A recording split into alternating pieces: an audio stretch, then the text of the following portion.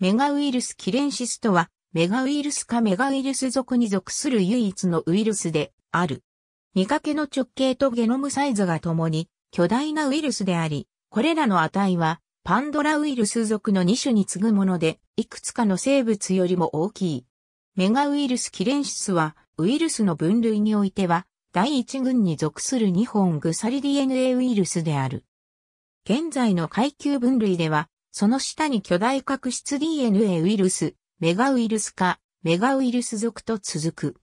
現在のところメガウイルス化とメガウイルス属を構成するのはメガウイルスキレンシス一種のみであるため、メガウイルスキレンシスはしばしば省略されてメガウイルスと呼ばれる。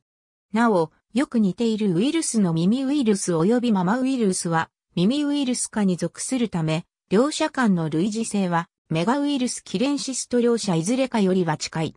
メガウイルスの名称はその名の通り巨大なウイルスであることにちなんでいる。キレンシスは発見地のチリにちなむ。メガウイルスキレンシスは2010年4月にチリのラスクルーセス沖で採集された海水の資料からジャン・ミシェル・クラブリーとシャンタル・アバーギルによって発見され、2011年10月10日に成果が発表された。メガウイルスキレンシスは発見時には海水から直接分離された。また、現在のところ野生環境での宿主は不明である。ティモシー・ローバトムによる実験では、アカントアメーバ属に属する A パリファが A キャスタラニー A グリフィニーの3種に生息する共生細菌に感染することが確認されている。アカントアメーバ属からは以前にも耳ウイルスのような巨大なゲノムを持つウイルスが発見されている。また、発見者の一人の寺院、ミヒエル・クラベリーによれば、メガウイルスキレンシスは人間に対しては有害ではないという。メガウイルスキレンシスは直径430ナノメートルから450ナノメートルの正二重面体のカプシド、厚さ70ナノメートルから80ナノメートルのエンベロープで包む構造を持っている。最大で680ナノメートルに達するその大きさは可視光線の赤に相当する波長と等しい大きさで、インフルエンザウイルスの8倍近くもあり、巨大であることで知られる天然痘ウイルスの2倍以上の大きさを持つ。また、この大きさは生物であるマイコプラズマゲニタリウムの250ナノメートルやナノアルカエウムエクイタンスの400ナノメートルなど、いくつかの生物より大きい。通常ウイルスの観察には電子顕微鏡が必要だが、メガウイルスキレンシスは光学顕微鏡で観察できるほどサイズが大きい。エンベロープには網状の構造があり、おそらく宿主となる単細胞生物を引き寄せる機能を持っていると考えられている。よく似たウイルスである耳ウイルスの場合、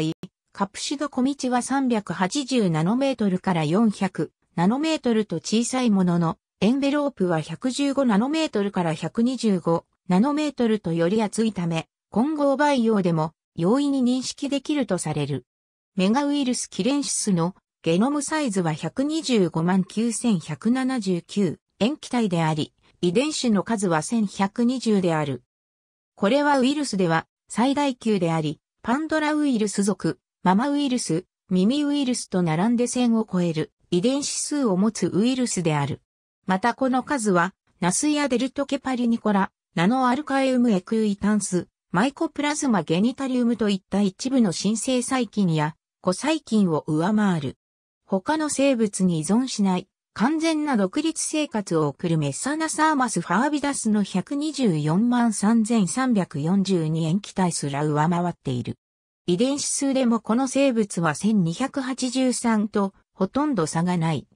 あまりにも巨大であることから、メガウイルスキレンシスなどの一部のウイルスは、ウイルスと生物との境界に位置するという説や、真核生物、新生細菌、古細菌に次ぐ第4のドメインに分類される真の生物であるという説もある。現在の分類では単独で自己増殖できず細胞壁を持たないことからウイルスと分類されているが、近年ではウイルスと似たような性質を持つ生物も発見されており、境界が曖昧化している。ありがとうございます。